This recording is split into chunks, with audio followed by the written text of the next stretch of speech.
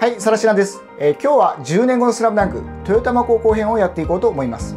はい、えー、このチャンネルでは、漫画スラムダンクのキャラクターの10年後を想像して、えー、動画にしております。スラムダンク愛に溢れた動画を作ったつもりでいますが、ご自身のスラムダンクのキャラクターのイメージを崩されたくないという方は、あこれから先の、え、動画を見るのをご遠慮した方がいいかもしれません。はい、え、もしよかったら気楽に見ていってください。今日は板倉南、岸本、この3人の10年後。10年後のスラムダンク豊玉高校編です。どうぞ。